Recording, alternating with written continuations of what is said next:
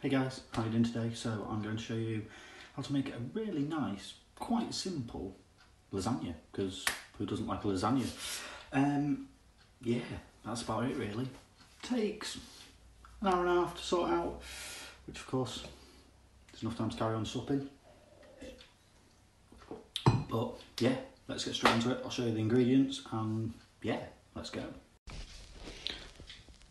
Okay, so not too many ingredients. We've got fresh mozzarella, a nice strong cheese, cheddar cheese, a very condensed beef stock, four fresh pasta sheets, salt, pepper, tablespoonish of tomato puree, some mixed Italian herbs, a garlic, an onion, a red wine, of course, a tin of chopped tomatoes, 300 grams of cottage cheese and 500 grams of good quality mince, and that's it.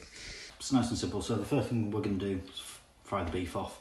Once we've done that, chop the onion, garlic, put that in, fry it off with it if there's not too much fat that needs draining off, and then put the red wine in and let it reduce down.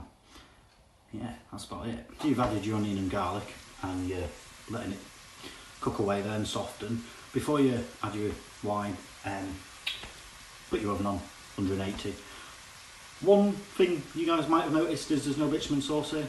I'm doing something different and you'll see what that is, but it's nice. So as that reduces down as well, next step, add your tomato puree, add your stock, and then in with the tomatoes on top. Leave it 10-15 minutes to boil away. Bit of salt and pepper season, some some of the fantastic Italian herbs on there.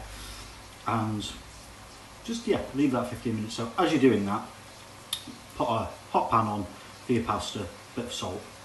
Perfect. So it's been 10-15 minutes. Taken it out put it in a bowl to rest. I'm just going to do my pasta. Once I've done that we're basically going to put it all together. I'll show you how we do that in the oven 40 minutes. Perfect. One thing I will say which I'll show you is ladle a bit of sauce out put it at the bottom of your dish and then put the pasta on first. This just stops it sticking. Makes life much easier. Just get your dish, get a ladle, just put a bit of sauce at the bottom there. Once you've got your first layer of pasta in, which you've chopped to size, good ladle full of mincemeat, flatten it down, next bit of pasta on. Now for me, this is where things get interesting. Nice layer of cottage cheese, another piece of pasta, and another dollop of mince on top. So once you've done that, another layer of the cottage cheese, grated cheese on top, some fresh mozzarella, some Italian herbs, some salt, some cracked black pepper, and that's it, we're done. So that's it guys, they're now in the oven. Take 40 minutes or so. Um, while that happens, I'm actually going to make some fresh garlic bread, maybe show you a recipe on that another day. Um, just relax and yeah, wait for the magic to happen.